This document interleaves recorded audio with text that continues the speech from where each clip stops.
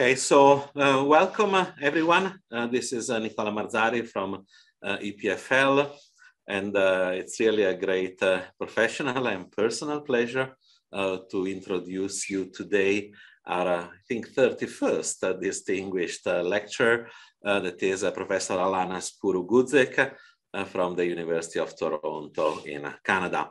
I mean, Alan uh, Uh, received his uh, uh, first degree uh, from UNAM, the National Autonomous University of Mexico, and from then from there he moved uh, to California, to Berkeley, where he got his PhD in 2004, and then he started as an assistant professor at Harvard in 2006, was promoted to full professor, uh, but he left in 2018, uh, moved to the University of Toronto, he is now is a professor of chemistry, professor of computer science, uh, Canada 150 research chair in theoretical chemistry, uh, a Canada CIFAR artificial intelligence chair at the Vector Institute, uh, many other appointments, a CIFAR Lebovich fellow in the biological inspired solar energy program, and a Google industrial research chair uh, in quantum computing.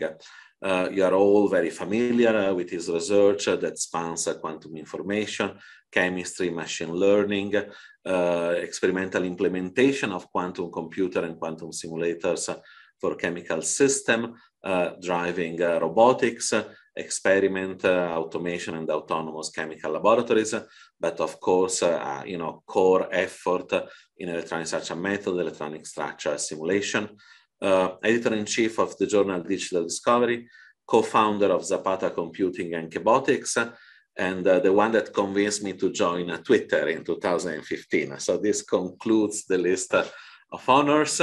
Um, and actually, before we start, Alan, apologies, but I use uh, your presence here to do just a 30 second announcement, uh, just because today is a special day for two reasons. that is, it's the sort of early bird deadline uh, to register for the Psyche conference and to be contribute to be considered for contributed talks. Uh, as of this morning, we had already 900 uh, registered participants, uh, but it's really skyrocketing right right now. So if you're interested, every all the information is at the, this this website. we might even extend the deadline by a few days as to uh, wrap up, uh, you know, some participants that had uh, sort of complexities in the registration. Okay, so with this, Alan, really a great pleasure to have you here. Thanks a lot for accepting and looking very much forward to your talk and lecture. well, I, uh, thank you, Nicola. Uh, many of you know I love uh, to hang out in EPFL. too bad I'm not there in person, but I was just telling Patrick, I will be I will be an itinerant traveler uh, and try to spend some time in Europe for like a month one day, and then I'll visit you guys. Um, You're always be- welcome. Open doors. So we wait for you. Yeah, I do appreciate it. Okay, so uh, I'm gonna get started, and I'm gonna just make this full screen, and um, yeah, hopefully you guys uh, uh, can see very well. And if there's any issues, just let me know. I, I cannot see you in the Zoom. It's, it's all perfect. Okay, so. Uh, why do I say there is no time for science as usual? Well, let's just begin just uh, with a quote that actually uh, I, I, took uh, from, from Swiss researchers, you know, Professor Raymond and also Anatole von Lilienfeld, which is joining us in Toronto. He's already here in Toronto. He used to be in Switzerland as well, via Austria. Uh, they like to talk about the size of chemical space, which is, you know, incredible. Uh, the visible universe has about 10 to the 82 atoms. This is a view from Canada of the visible universe. Uh, and the number of possible molecules that you can make dwarfs that to the point that there's about 10 to the 180 synthesizable molecules. And of course, within that, there's also, uh, for Nicola and other people's research, of course, also the state of all possible materials as well in that space, right? Which are basically uh, another type of, you know, periodic uh, or non-periodic even uh, array of, of, of, of molecules more in the solid, of atoms in the solid state. So it is fascinating, right? This is kind of like how can we explore that space? It's something that many, many researchers in Switzerland, including Nicola, many others, Clemens Kornenbuth, and others are actually pioneers and leaders. So uh, I am talking to the experts. Uh, but you can see here, uh, first, the real experts are my, my group members here. Uh, these photos are a little bit outdated. I have to, to, to, to take uh, newer ones as well. But this is my group. Once we started getting together back from the pandemic and our pre-pandemic like Zoom picture, these are the people that did all the work I'm talking to you about. So you might say, well, what does the my lab do? You know, my lab is called the Matter Lab now since I moved to Toronto. And I would say my lab uh, basically has a, a, few topics, but uh, since the early days, and this is how I know Nicola, we both have a passion of accelerating Matthias' discovery. And uh, I also have worked for a long time on algorithms for near-term quantum computers. If I have time at the very end of this talk, I'll tell you just a little bit of an update, but I might skip that piece uh, depending on, on the time. Um, so this is a big issue, right? I mean, um, just today, May 31st, is the hottest May 31st in Toronto ever. 31 degrees Celsius. Okay. Um, and you guys, uh, also yesterday, a hurricane hit Mexico. The largest category two is a category two, the largest hurricane that has ever hit Mexico at this time of the year. And I'm from Mexico. So sorry for, uh, pardon my, my rude English. We're fucked, right? Like we need to do something. That is the reason of the title of There is no time for science as usual. I just recently saw in Twitter, and I haven't really looked at the at the sources, but I really like the sort so, some statement that again I, I took a screenshot. I really have to study if it's true. It came from a scientist that looks reputable, but I have to study it. Uh, he or she said that 60% of the climate change wedge that we need to do comes from materials that are or, or there are sorry from technologies that are still not fully finished. I thought it was a way smaller because people keep saying well, we have already the technology, we just need to deploy it. That is correct, but I think in some of the estimates that people are making of what we need to do to climate change, they still assume R&D is going. Therefore, we need to accelerate R&D. We cannot do R&D the same way we've been doing R&D. And this is my biggest message to you. If you don't take anything else from this talk, is the urgency of changing the way our laboratories look. Okay? Because if you take an idea, for example, the laser, the solar cell, the OLED, it will take about 10 to 25 years to bring it to market. And I, in the Q&A, I could bring up some slides I have uh, for examples of that. But, you know, uh, how can we make it maybe one or two years, right? That's the idea. And, and I've been working on it uh, furiously since I realized computers are not just a solution, okay? So computers and, and high throughput screening and AI are only gonna take us halfway. The other half is reimagining the laboratory. Okay. The other half is actually taking the laboratory process and uh, optimizing it in such a way that every experiment is done fast, but also is done in a smart way that the data is going into the AI to think about what's the next thing to do. That's why I like to call it a self-driving laboratory. One important thing to think about this is uh, the interface for robots. For example, the company ChemSpeed that I actually uh, had equipment from. I'll show you some videos and ChemSpeed is in Switzerland. The interface is kind of almost built for using spreadsheets to actually run experiments in tables, right? It's, we had to hack the system and write Python's code to actually run it in a self-driving mode. And we'll publish a paper very soon about that, right? But that tells you kind of, uh, you know, the, the kinds of changes that, that you have to do to actually run in self-driving mode again. So more on that later. So let's just begin with machine learning. Uh, this paper is now my most cited paper. Right? It's an it's an interesting paper. You know, all the people here went on to reputa- very reputable careers. David was a postdoc at the time at Harvard when I was there. Now he's a professor here at the University of Toronto, who recruited me here actually when I moved here after Trump was elected. Dougal is one of the main authors of JAX, the differentiable code at Google. Rafa is now a professor at MIT. Uh, Jorge is uh, now in the pharma industry. Tim works at Zapata Computing. Brian Adams was at Harvard and went to Twitter. Now he's a professor at uh, in Princeton. So this paper that I really like took this kind of idea of cheminformatics and modernized it and made it a deep learning type of idea. The random bits that are actually done at different length scales of the molecule, atom, bond, next nearest neighbor, and next next nearest neighbor, are hashed in a vector here. Whereas here we hide we, hidden weight matrices, softmax the thing, make it differentiable in such a way that the output is a real valued vector rather than a real like a bit string vector. And therefore we can train this convolutional graph to actually able to to, to look at molecules. And you know, this original idea has been, you know, replicated millions of times, extended uh, by several groups around the world, right? This is another idea where we were quite lucky to be uh, perhaps the first ones or one of the first ones to use uh, autoencoders, as they're called, but more in general, with, uh, generative models for molecular and materials design. So this paper was in the archive in 2016, and thanks to reviewer number three and four, probably, or whatever, we ended up uh, published in 2018. But it's around the same time when we actually thought of let's take uh, machine learning models that are generative in nature. In this case, you can see here the latent space of an autoencoder and use them to actually map to a property. In other words, the cool thing is mapping the latent space to the property. That's what we did in this paper. And then you can climb the property or properties and then come down project into the latent space and the most important thing of this network is the decoder that allows you to go back from the latent space back to the structure. Okay. So generative models are here to stay. And again, this is also probably my second most cited paper whatever. So very, very recent papers that have become very popular because of that.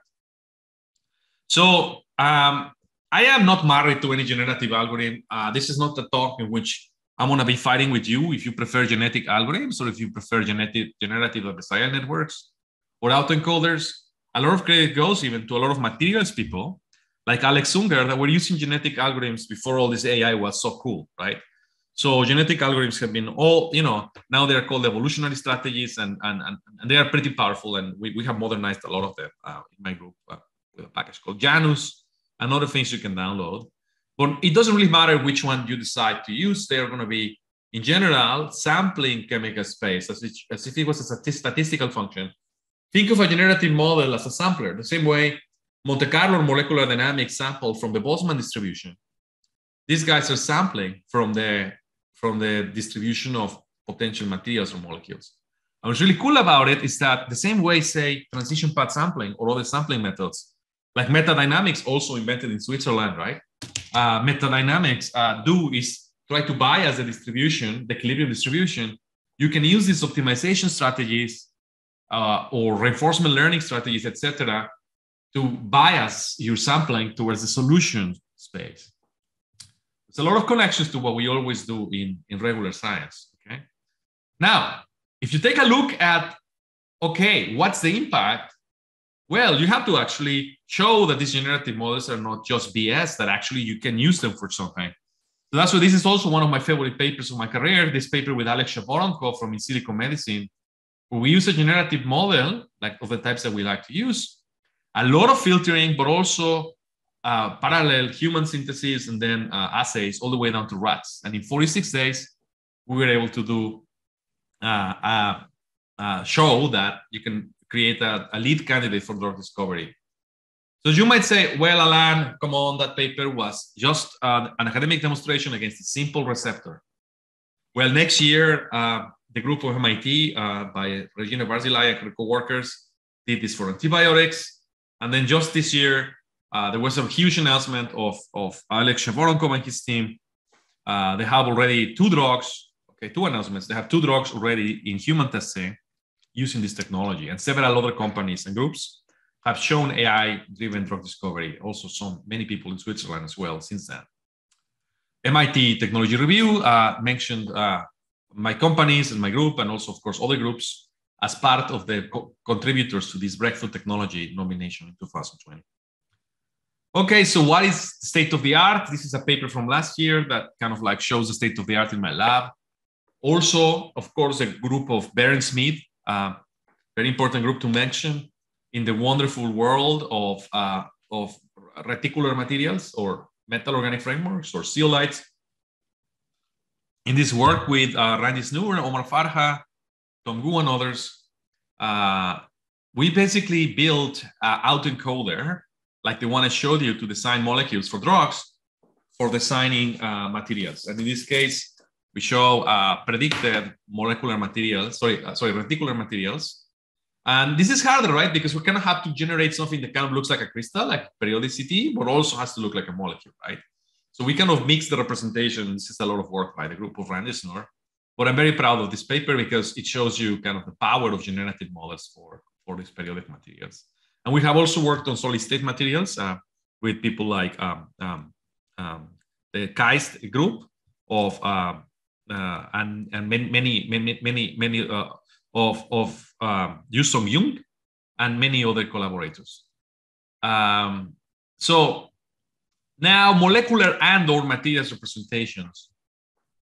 I argue the representation is more important than the model. Okay, as I told you, many models saturate, and it doesn't really matter perhaps what generative model you use all the time or etc. But the representation may have a big impact. I would like to say a lot of work is recently given, given done for three-dimensional representations that respect symmetries.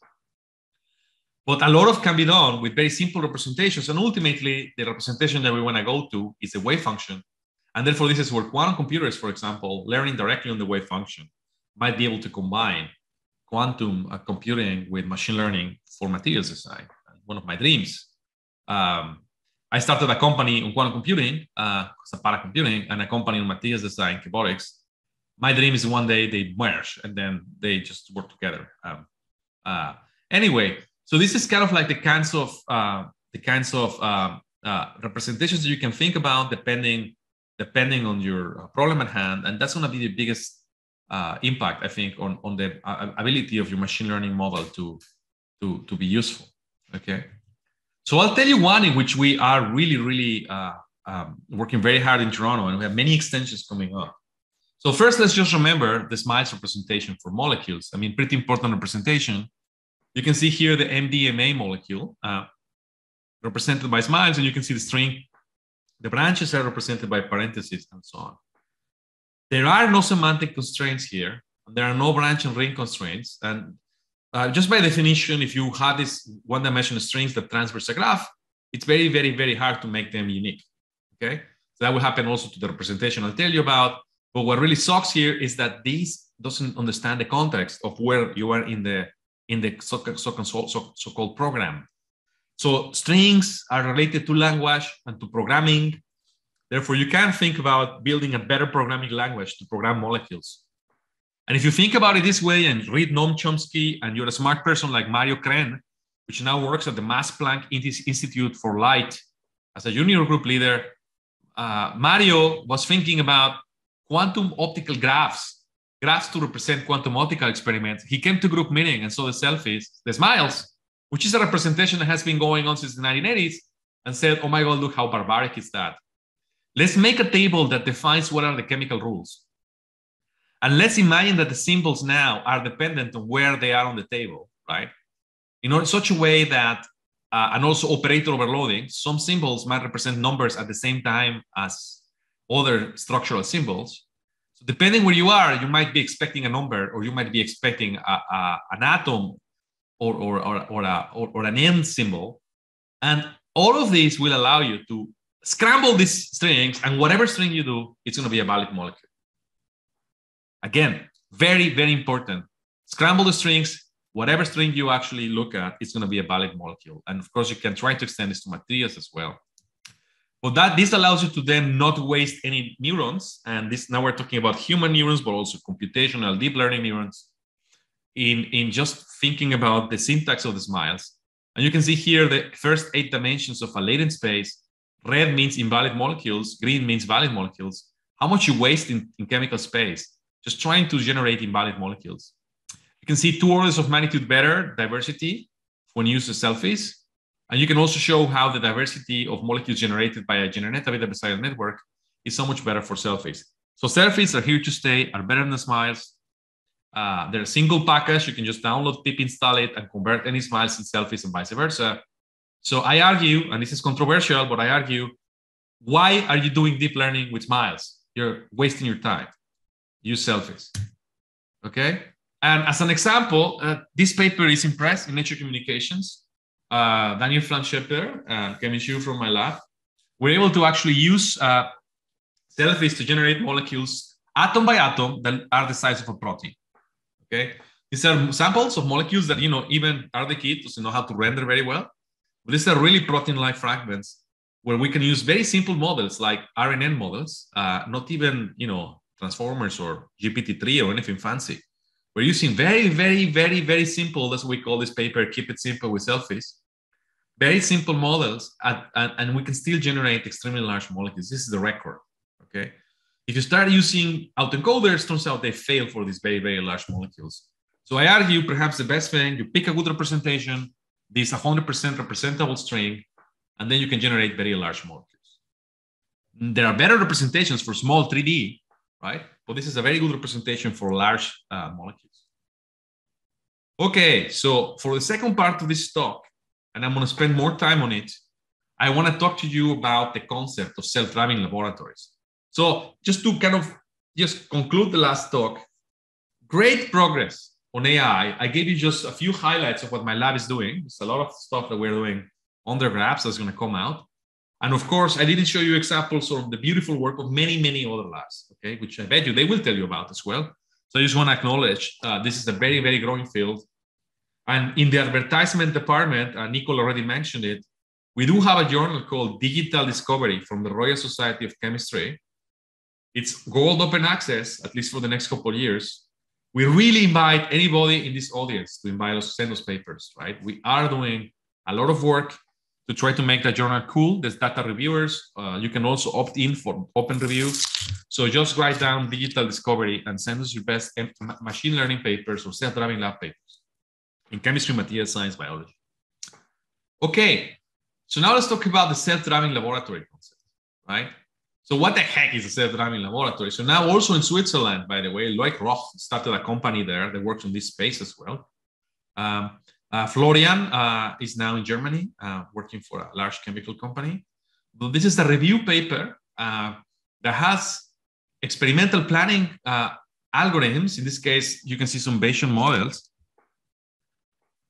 co combined with control software to run the robotic platform. So now I became an experimentalist, right? So it's kind of cool. It's kind of fun. And I, many other people have done that in this, in this space. Uh, uh, and what is cool about that is that we can think of the lab as a GPU, right? So don't be afraid if you're an experimental a theoretician or computational person to start moving into this space of building software for labs. It's quite fun. But now, more mathematically, what is the difference between a self-driving lab and other things? So I told you about the spreadsheets, right? So the spreadsheet-based approach from the 1990s, uh, CIMIX, and uh, was one of the top companies in this space. Uh, they just basically make a grid, and in that grid, they they basically explore dimensional space. You can do things like the design of experiments, and then you explore chemical spaces, right, to find good molecules. It is kind of the American AR-15 approach, right? If you have a lot of molecules, uh, a lot of uh, resources, then run a lot of molecules. I told you about the generative models. What does that mean here? That means that, for example, this is what we did with in silico, right? And it's done in pharma a lot you have the generative model, they give you some molecules, you explore chemical space, but every time you do it, you go back and do a manual experiment, right? Or maybe even an automated experiment, but then you take that molecule that came from the generative model and test it in chemical space. If you link that also to optimization over the different samples in your experiment and close, put everything together, right? That's what we like to call a self-driving lab. So say there's an initial guess by a generative model, perhaps, then you go in there, explore the space, uh, optimize your reaction conditions, optimize everything that can be optimized in the experiment. Know, in a closed loop manner, which means every time data, new data comes in, you feed it back into your models and update the models.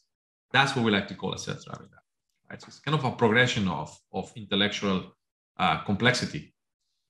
Uh, the kind of software that goes into it is kind of complicated. You, you need to have like databases. I show you some videos of some databases, automated experimental control, delta machine learning, as it's called, um, or you know dynamic bias corrections, uh, HPC, etc. Right. So you really have to uh, you know automate your laboratory that way. So now let me tell you a story of a material, right, that we're working on. It's called the organic laser. So let's talk about materials, right? So firstly, let's think about uh, the fact that you know usually lasers are made with, you know, you have a, a, a very rare element like yttrium, say, uh, in a solid state material, and you use it as an emitter, right? Uh, but of course, I am an organic guy. I like organic molecules, so I've been working a lot with trying to replace inorganic complexes by organic molecules, as many others, of course, have done. And in particular, I've been obsessed, of course, with OLEDs, right? And I work a lot in OLEDs in my lab, and we, we think a lot about them. Of course, they have some deposition issues and challenges and opportunities. It's super cheap to do roll-to-roll processing. Then the question is, do you evaporate or inkjet and how to do it? But what is very sexy about molecules is you just change a little bit of the structure and the properties change a lot, right? So can we make lasers with molecules? So these molecules will be in the solid in the, in the in the solid state. So there are physical chemistry criteria that I'm telling you about today, right now. For example, you want to minimize the overlap and the absorption of emission, minimize the steady state lifetime, minimize the system crossing. These are all basically things that you can think about in this Jablonski diagram. So you can loop as much as possible the molecules and have stimulated emission um, to have nonlinear response. But obviously, if you have a steady state absorption, shit hits the fan. If you have intersystem crossing and then absorption there, this is a process that you don't want. This is a process that you don't want. You don't want relaxation, um, right? So you really want a molecule that almost looks like an atom, right? So there is a lot of uh, understanding, okay, uh, of what needs to be done. And obviously, we have a lot of quantum chemistry that we can do at the molecular scale to actually screen for this. So we have an advantage in terms of it's easier to screen for this property, say, than in drug discovery, drug ligand binding, arguably. So have people done solid state lasers with organic molecules? This I will take you to uh, a fraud. So I recommend you, everybody, especially the young people in the audience, they don't know this book, they don't know this story. Okay. So young students, go and buy this book today or pirate it on the internet. Do whatever you want, but you can take this book and read about what you should not be doing, right? But also how, uh, you know, peer review, supervisory review, open data. There's a lot of things that we can think about here of how never have a Hendrik Schon again. Okay, this guy was the the the king of fabrica- of fabrication, but of fabrication not of samples but of data, right? So he basically uh, fooled many many people that actually later some of them even became my colleagues at Harvard. Uh, for example, Federico Capasso is mentioned here. Many people for a while were fooled by the, this genius, so to speak, right? But eventually, people like Stephen Forrest and Lin Lu and a lot of people were involved in debunking this guy, right? the laser data. You can probably been reading what I, what this this thing says. The laser data was uh, BS. This sent back the field a lot because then people were saying, "Oh, maybe it's impossible to have a, a material that will lace from the solid state." But Professor Chihaya Adachi, my collaborator and friend, was a postdoc at the time in the Forrest Lab, which was mentioned in the previous slides uh, pages from the book. And he kept working on it. And in 2017, with Professor Mamada, had a had a had a, a breakthrough. So it's been about five years since then, and he has published about ten molecules that have this kind of banana-like, uh, a very large transition dipole, electron density sloshing back and forth, that satisfy the criteria for organic lasing in the solid state for a reasonable amount of time. And you can, of course, do tricks to actually extend the lifetime of the molecules. And therefore, Chihaya it's so gung ho that he started a company called Koala to commercialize this and eventually have OLED-like materials that lace. So this is the happening field. So when I was moving to Toronto and I was going to start a lab in 2018, I had seen the paper by Mamada and Chihaya, and I said, this is a great opportunity because this is a new field. So let's start the organic laser self-driving laboratory in Toronto, right? So this is where, besides Chihaya, I have the, the honor of having a weekly call and collaborate with these four gentlemen and their fantastic gentlewomen and gentlemen group uh, that conforms the Burke, the Cronin, the Grybauski, and the Hein groups. And we are funded by DARPA, uh, very thankful to DARPA, in a project called Madness. And I would like to say that this is the time for no science as usual also in the fact that you have to do these international collaborations to take the best of each group and move as fast as you can. There is no time for ego also. So uh, what we do is we don't do retrosynthesis. It's very popular. We do forward synthetic space. So we take molecular blocks, generate molecules, generate a virtual chemical space of the synthesizable molecules, screen over there with AI and quantum chemistry, and then decide which experiments to make. And roughly our throughput is 50 to 200 experiments today maximum. But it gives you an idea of what we can make at, uh, at the screening stage for, for organic molecules in our automation systems. So we have a made in Switzerland ChemSpeed robot. Uh, we have a, a fantastic HPLC MS from Thermo Fisher, very sophisticated system. And then we have our home built lasers because it's quite funny for finding out if a molecule is a laser, you need to shine it with a laser. And what you can see here is uh, inline uh, processing so that we can actually start an experiment uh, in a weekend and come back in Monday with 40 samples completely fully tested. Uh, you can see here the absorption and emission spectra of the, of the lasers, the photoluminescence lifetime, uh, all measured in, inline. And this gives you an example of uh, how we can do closed loop characterization for real. And um, there is a ChemRxiv that just was put out this, this 2022. Great work by Tony Wu, Andres Aguilar Granda, Jenny Redfried, Kazuhiro Hotta, etc. And what you can see in this uh, ChemRxiv is the, the, the, the whole description of the system and our first runs on it. Okay. This is not closed loop, but we did a first run uh, that shows you how things work. Here you have um, caps, and then we were running this core. We did Suzuki coupling, to actually take uh, these caps and couple to 40 derivatives. Okay, this is just show of the first run that was successful closing the, the you know, basically showing end to end our platform. That was enough for a paper uh, that I think is very interesting. And you can see here our uh, automated Quantos system, uh, uh powder dosing. That is probably perhaps the most expensive uh, salt and pepper shaker ever, ever made in history, right? it's going to go there and start salt and pepper shaking. Uh, that salt and pepper shaker that has an RFID tag.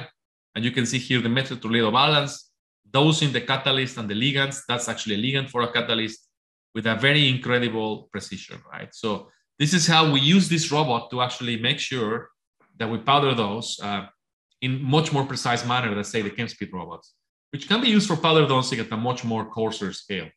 So uh, you also have to learn when to use what robot for what. And I think this is a good example of a excellent powder doser machine that I recommend everybody to use. Um, this is the ChemSpeed. Um, again, decent power dosing, but perhaps its claim to fame, at least in my lab, is the reactors. So you can see there the arm opening the reactors, and you can see now uh, the kind of more coarse grain powder doser in action. Um, it took us a lot of time to debug that powder doser. So again, lesson learned, uh, use an external one if you need more precision, but still pretty good. And then you can always go and, uh, and then now liquid dispense and, uh, and then start uh, making your reaction, right? So uh, you can think, if you guys have an Instant Pot, Instant Pot, you can think about that as a parallel Instant Pot, right? You can also do Schlenk cycles. So I will argue that module, the reactor module, is just amazing, right? So, and from behind the robot, you can actually uh, take out the samples and take them to the analysis, okay? So this gives you guys an idea of, of kind of how my lab looks like at the moment. Uh, but anyway, after we did that, you can see here the 40 experiments on that particular library that was computationally inspired, right? Uh, there was no closed loop again, but uh, good enough to actually show you. This was the gain cross section basically how many molecules in a certain area are actually uh, stimulating the emitting. You can see the units there. And uh, you can actually see that we, even in the same run, we really had many, many molecules that have better gain. So better than the state of the art.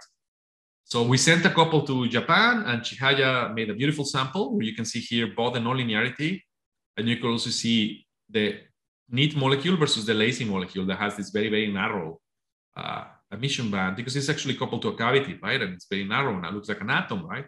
And you can see here an important parameter that we also need to learn how to optimize is this excitation energy threshold. We want to lower it as much as possible. That's very device dependent. or Of course, also depends on the molecule. So now I want to tell you about what happened with DARPA. So DARPA told us, okay, Alan, you have to show us results. You want to keep being funded, run a real, very fast campaign. So we spent a lot of time optimizing. But now we said, let's run a rockstar campaign, right? So this campaign is, was called ACDC. And the reason we call it asynchronous cloud-based delocalized closed loop discovery is because uh, we um, are doing it over several labs around the world, as I'll show you. We are shipping powders to each other. I am a Mexican that ships white powders around the world, okay? Um, you can even make a little narco movie about that. So here you can see here uh, our design system. We have caps, bridges, and cores. And by having this combinatorial uh, variety of caps, bridges, and cores, we can access a large chemical space, right? So the bridge is the thing that we added to that particular previous synthesis scheme. But that makes it harder because now we can think about one pot or even sequential synthesis systems where we need to really figure out how to do this quickly. And I haven't tell you too much of the organic chemistry here. Uh, in other talks, I talk more about it. But this is the iterative Suzuki coupling scheme of MIDA boronates uh, uh, invented by Marty Burke that literally is what we use. We uh, take blocks, uh, protect and deprotect uh, using these boron midas, and therefore we can sequentially build them. Um, the way we do it in the in for making this library is a one pot sequence where we uh, first take the caps, which by the way are made by the other labs, by the Cronin and, and, and, and Hein labs, couple them to these bridges, and then couple the bridges to the core. And we, we use a trick of using first water-free chemistry and then uh, base chemistry to, uh, with water that allows us to kind of deprotect and then do the second step. So this is how we do it. And that allows us to explore a space of about 163,000 compounds, which you can imagine, you know, with the modern AI quantum chemistry tools, we can certainly even enumerate. We could also explore, you know, um, with uh, uh, Bayesian methods. So here is an enumeration of it uh, by Bartosz Grzybowski using his code. But he also has super cool forward synthetic uh, feasibility prediction that allows us to already right off the bat say that about 5,000 of these molecules, and this is basically a lower bound, cannot be made. I mean, his AI says, you know, it's very unlikely to be made with the synthetic conditions that you have due to group incompatibility and other simple kind of checks. So this allows us to actually not make them and gives us better throughput. But that gives you an idea of what is the connectivity of this chemical space. And now we put all the groups together, uh, the building block preparation, again, UBC and University of Glasgow, excellent work by the computer, my friend Lee Cronin, my friend Jason Hein works on this optimization condition, uh, um, as well as Urbana Champaign. And then Urbana Champaign and us are more like the, the, the high throughput screening labs. We're sending a lot of powders to each other.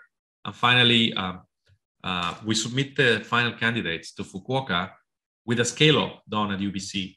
So this is really a global uh, effort. And for that, we created this software that we like to call Organize It. By the way, Théophile Gaudin is in Switzerland. He's my joint student with IBM um, Zurich. So this is an example of another collaboration I have with Switzerland. So Theo built this database uh, of different compounds. Uh, that's a workshop. Sorry, that's a that is kind of like the working panel. And you can see here this beautiful like kind of user management, but uh, you can also uh, take the blocks and build molecules with the three different fragments, look at the availability of them. And then Theo, of course, uh, allows us to add new robotics machines at different sites. Uh, one of my favorite features of this database is uh, the fact that you can even track the shipping. Okay, so you have all the URLs of the shipping between the different laboratories. And of course, who's doing what. So if you want to do the localized molecular synthesis, you really need to have a system like ACDC to be able to, uh, to make sure you are uh, screening. Uh, and of course, it does have an API, so you don't need to do it by hand. You can, of course, have scripts that populate and depopulate this and so on. And some of the flexing that we've been doing recently, this is a, a old video. So what you will see in terms of the mass spec and HPLC data very soon is quite old uh, and maybe it doesn't even show it, but uh, I think shows it at the end, but pretty crappy compared to what we have right now, because we have been working a lot in standardizing our analytical data across the different labs as we have different vendors of equipment. But anyway, this gives you an idea of the kinds of tools that we needed to build to be able to do this asynchronous delocalized uh, synthesis. So now we use Bartosz's technology to actually look at the chemical diversity and then use our first seed experiment for this production system uh, wisely. And for that, I mean, let's just look at the most diverse set of molecules to start our Bayesian exploration of chemical space. And that's what we did with Bartosz. So after that, we're going to feed it into my group's models. I don't have too much time to show them to you, but here are uh, models that we have developed uh, called Gryffin, Chimera, Phoenics, uh, Golem, many others. And what these models do is take uh, Bayesian optimization over discrete uh, or categorical variables, as they're called, and continuous variables in the same setting, and allow us to actually optimize a lot of experimental conditions. A big trick that uh, maybe the materials people want to look at is this chimera. Uh, take a look at, uh, oh, it's not cited here below, but you can check it in this review. But this chimera uh, work allows you to have uh, multi, um, basically multi-variable Pareto optimization, right? So like you can say, first optimize the yield, then the turnover, and then the, minimize the reaction time, and glue the different surfaces together so you have a single optimizer that looks at the global function, but then you threshold optimize.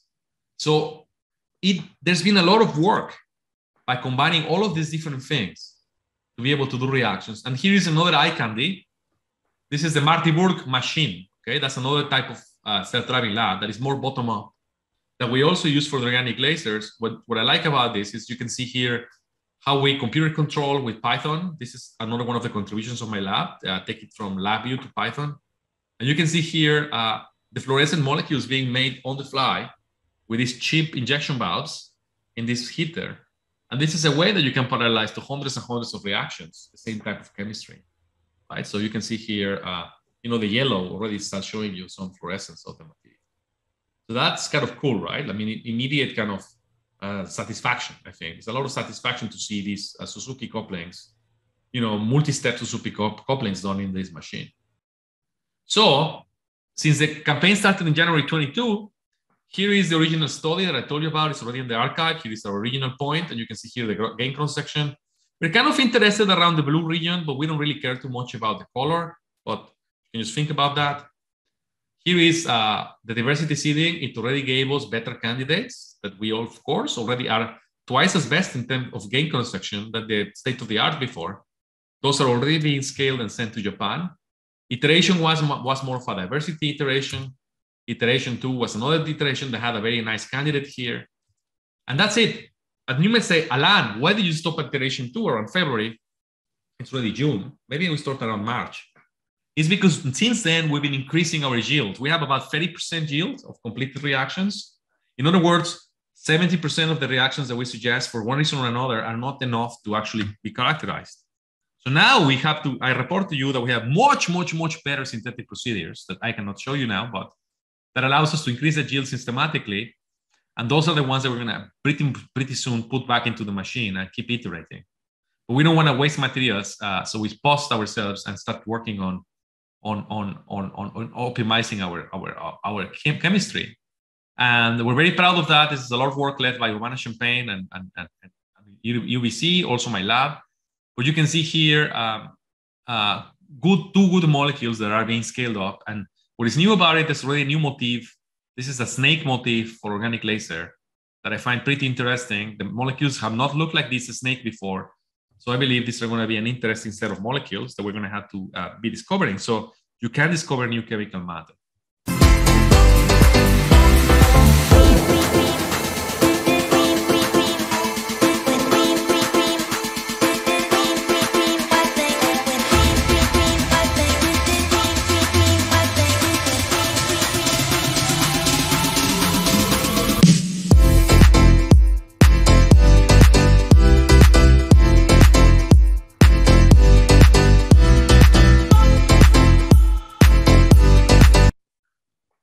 Okay, so now you say, wow, right? I mean, that's the end of our organic laser. And those were the organic laser molecules lasing with a little fluorescent lamp to you, just in solution. And now I'm going to spend the last uh, five minutes or so telling you about the automated lab of the future. So, though the ChemSpeed and this type of robots is the future, I don't think so, actually. I think the lab of the future is going to look very different. I think the lab of the future is going to look more like this. These robotic arms are dirt cheap. You can buy them cheaper and cheaper and cheaper. This is a Franka one, not as cheap as it should be, but there are gonna the, the, the, the cost of these robotic arms because of industrialization is becoming commodity. I predict people were starting. I want to start having these robotic arms in their house. You know, like a microwave oven. You're gonna have a robotic arm doing something. So what is that robot doing there?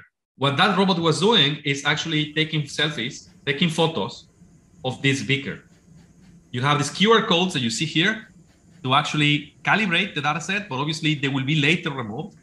But the idea is that our robot is learning how the heck does chemical glassware look like? Full of liquids and not full of liquids.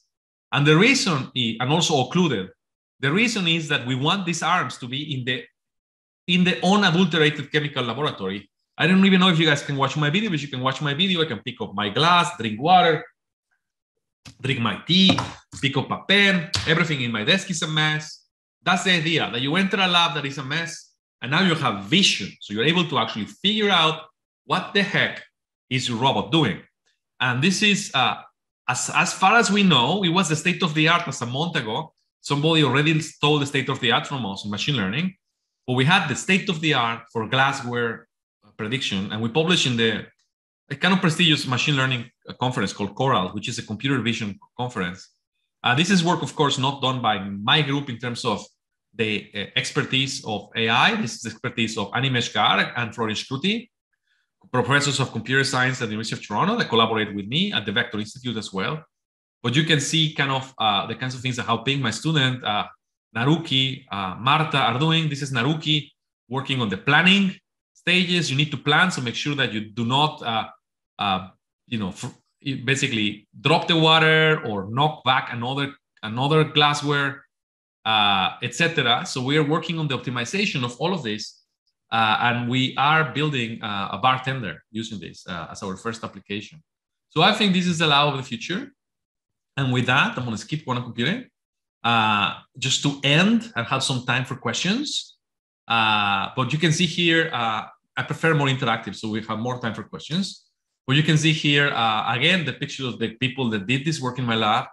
Uh, uh, many very important uh, characters here. Uh, as I go along, I'm going to show you some of the most, uh, you know, Mario Krenn, Cyril, in terms of the selfies and in terms of the screening.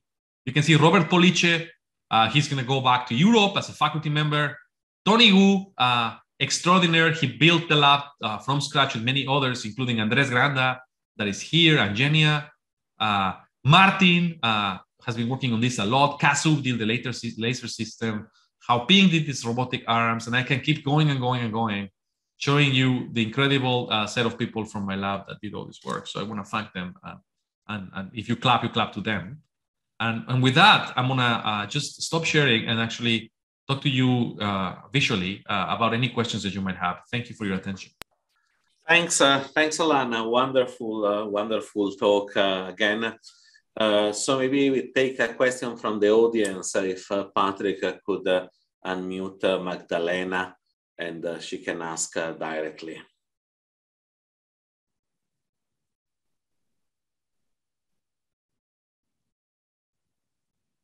So again, for everyone, you type the questions in the question and answers and depending mute you will I read them.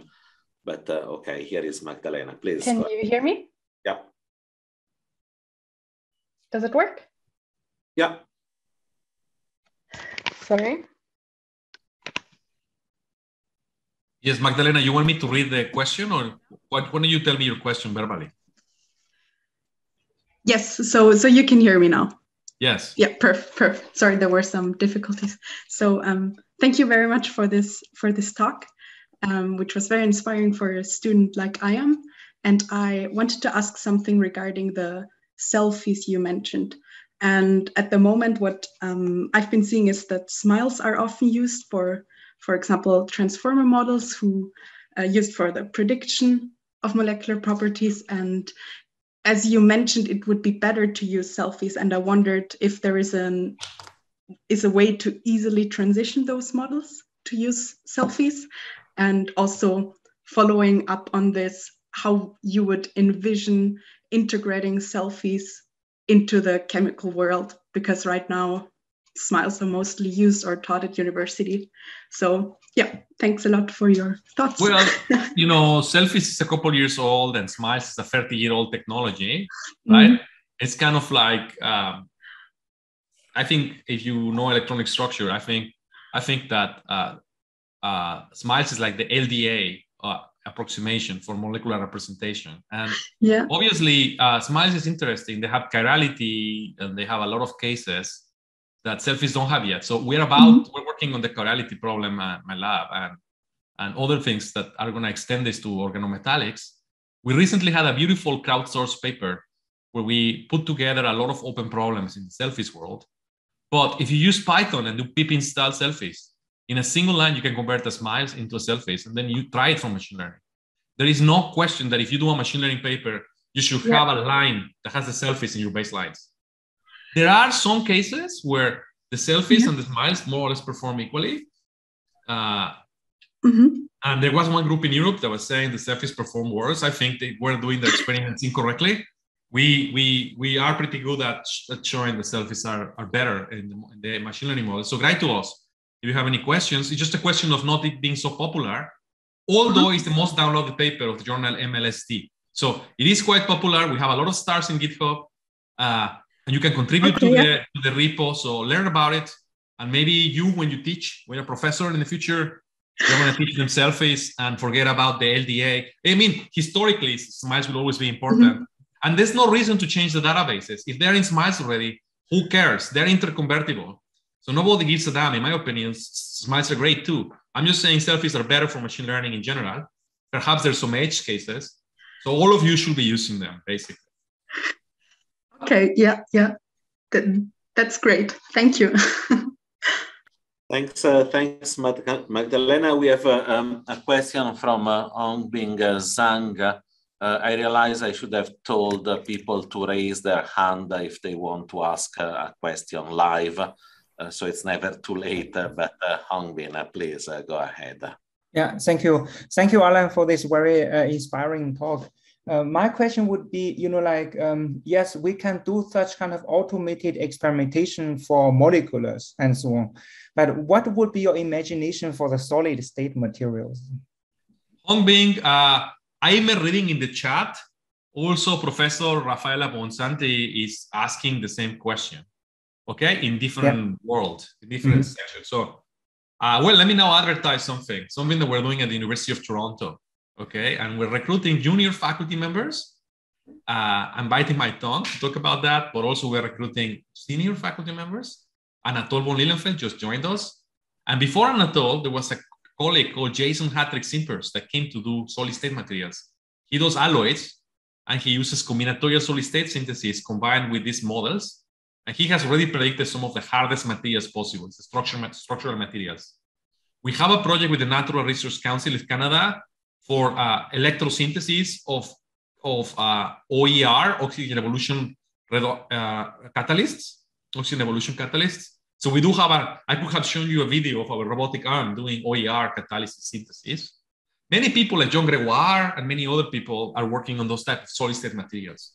Something that is a great advertisement. We are working in a big vision at the University of Toronto. So for all those of you that want to do postdoc, come here. Okay, we're going to have a lot of jobs for you. Uh, not only me, but all the professors that are moving here, the junior faculty that we're hiring, and the local faculty.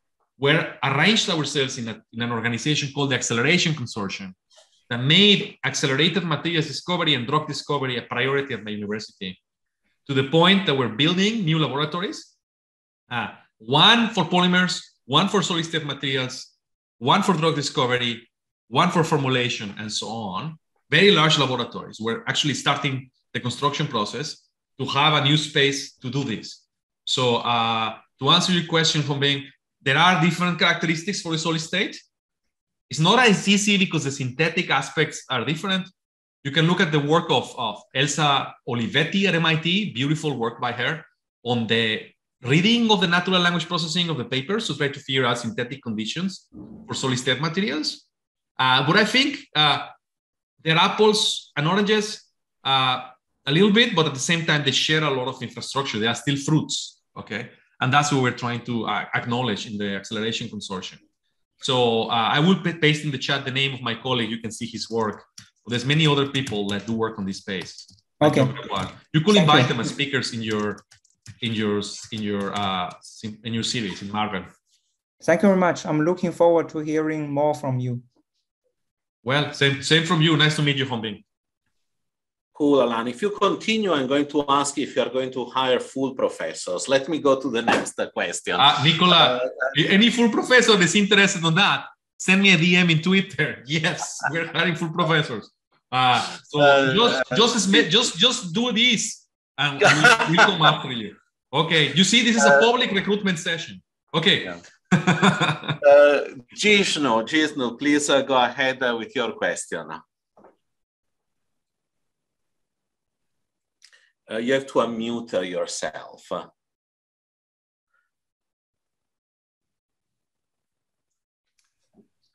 Okay, if not, I will read the question, Jishnu. Yeah, I'll, I'll, I'll, I'll, I'll, I'll read it. No, Please, so that you can. So in your current uh, generative models, uh, what level of accuracy are you using currently? QM, force fields, uh, QSR.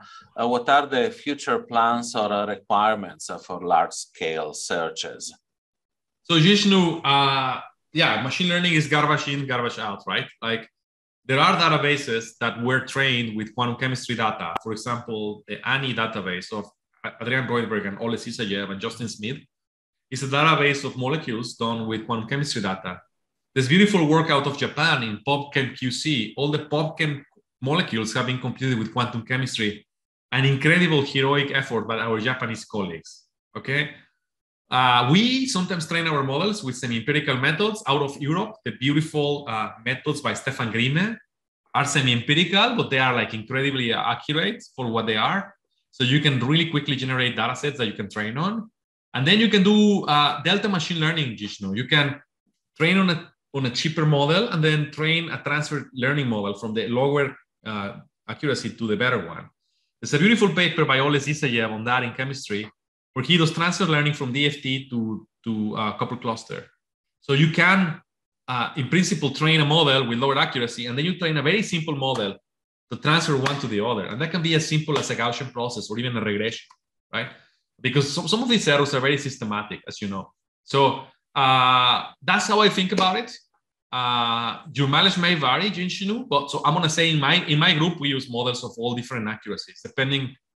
You, in Mexico, we say if you want to hit the toad, the stone depends. The size of the stone depends.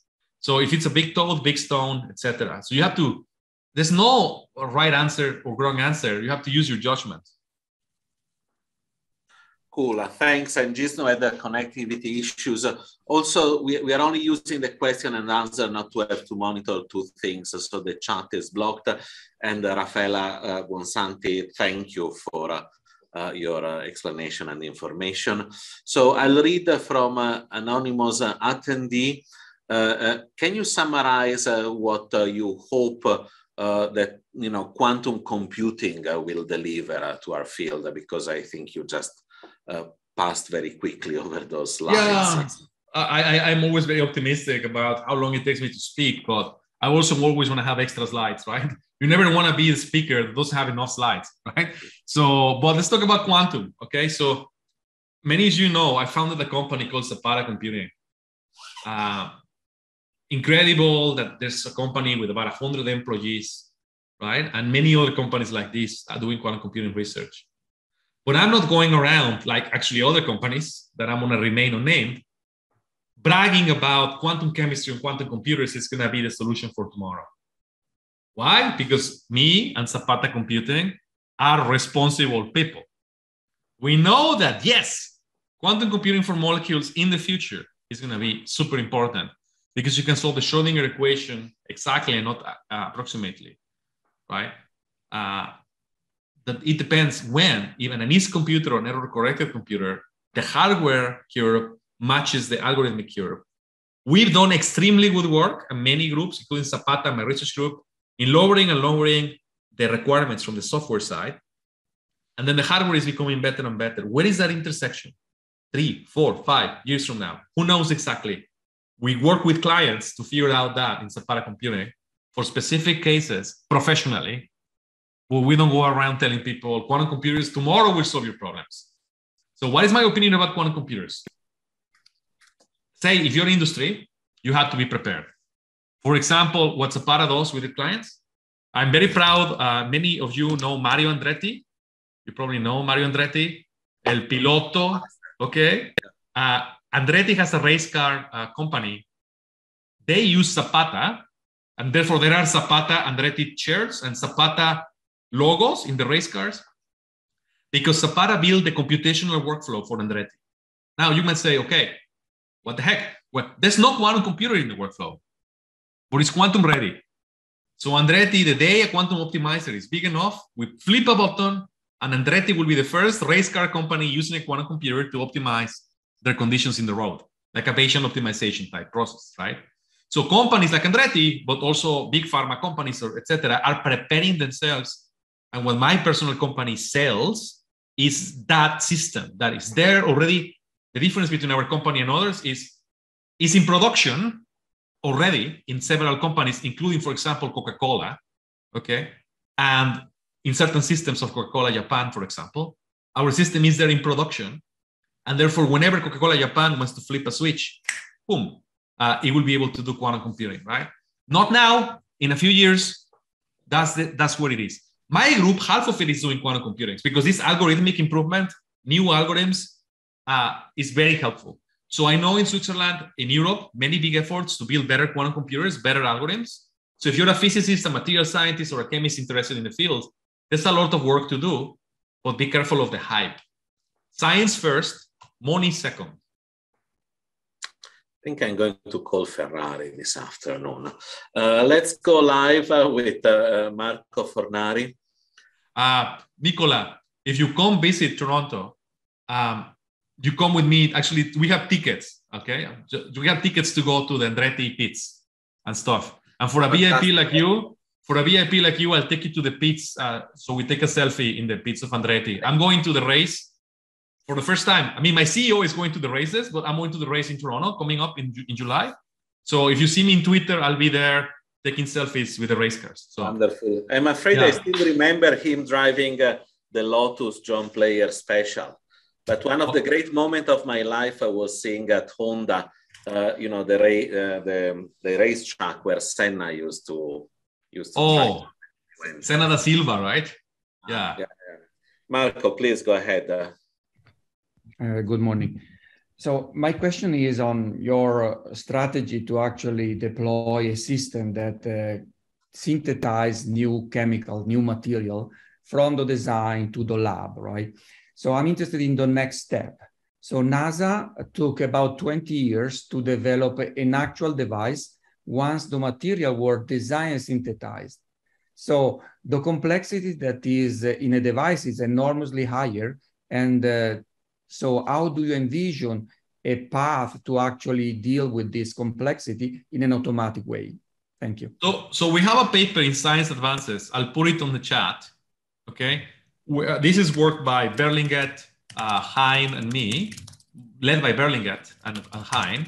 Uh, but it's uh, basically, for example, it's a self-driving laboratory for thin films. Okay. So I, I didn't have time to show it here in my talk, but I'm putting a link to kind of the NIA, well, whatever, you can find it from there. But uh, what we do there is we have a robot that does uh, the position of the molecules in the thin film and then does four point electrical testing and also checks the, the nature of the film. So in my case, because I work on organic materials, a lot of it is vapor deposition and thin film deposition. And uh, so I have people in my lab working on the robotic device fabrication. And one of the big labs at Toronto will be we call it the formulation lab, but in reality, it's a device lab, right? We will formulate uh, elements of devices and so on. Now, there is a professor that is he's my hero. He I also collaborate with him a little bit, but he also, of course, does much more work by himself. Christoph Brabec, another excellent person to invite to your seminar series. Christoph is uh, in Erlangen, and what he is doing that is incredible is he has a production plant also in his lab. So he has small scale device making. Uh, I have a paper with him in advanced materials on this, but he also has a plant. So I think, Marco, you're to the right point. we need to innovate also closer to production, right? So I think that is more green space. Uh, but pioneers like Christoph Brabec are there in the jungle hacking with their machete, you know? Um, I think uh, we'll have a last uh, question uh, from uh, Kevin Rossi. I know that you have a hard deadline. Alan. Yes, around 11:10, when interviewing a candidate, one of those that I'm telling you, Nicola. So I have to go to one of those uh, talks and, and and see what you know before yeah, my chair is like, "Where are you?"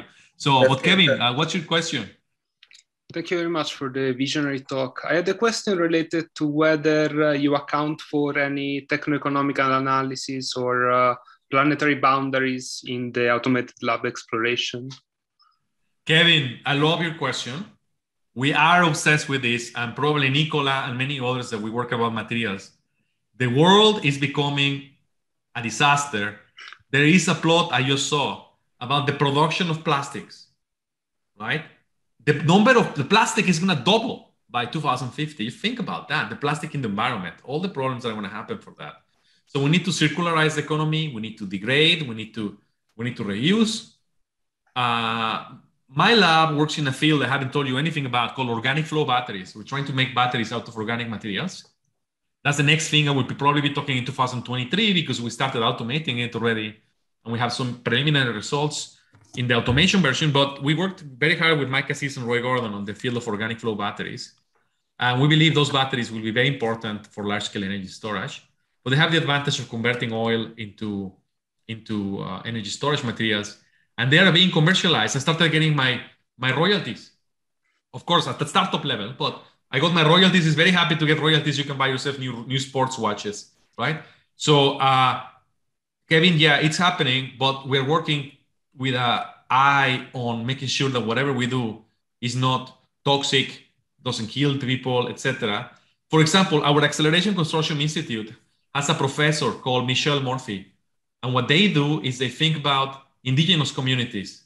And what does it mean for the indigenous communities, all the stuff that we're doing in terms of polluting the environment or empowering them to have their own little mini factories? So, yes, Kevin, I think we, because the politicians are so self centered and slow, we, the technocrats and the scientists, need to take care of a lot of these things. So, I do not like Elon Musk, I have to say, personally, publicly. Uh, as a person, he looks like a very nasty person but if we had good versions of him uh, doing a lot of high level, uh, uh, hopefully hairs, for example, many leaders doing a deep tech and innovating uh, for the world in more interesting things than flying to Mars, I think that's bullshit. But just imagine a revolution like that for agriculture or for plastics. I think that's what we need. A lot of companies and visionaries that are working on that, and maybe you or others should be doing that. We do me, We're trying. We're all trying, right? We're all trying. Yeah. We'll do our best. Thank you very much. Thanks kevin. Um, alan this was fantastic and i think uh, you know the conclusion here on exactly what it means uh, to do you know science that brings technology and how it is relevant for the world uh, couldn't be a better one. So i think uh, uh, we'll leave at this and everyone thinking at uh, you know what it means what they are doing and where it's where it's going uh, I see a lot of uh, kudos uh, in the in the chat. Alan, we'll follow you on Twitter. Thanks again. It was a great, great pleasure. And best of luck for everything. And come and visit us. Before we hang up, I'm gonna tweet your selfie uh, saying that I was the one that incited you to win Twitter. So smile. Cheers. Okay. With your permission, I'll tweet you. Okay. Uh, take okay. care, beautiful people. Bye bye. see you guys next time. Everyone. Goodbye. Bye.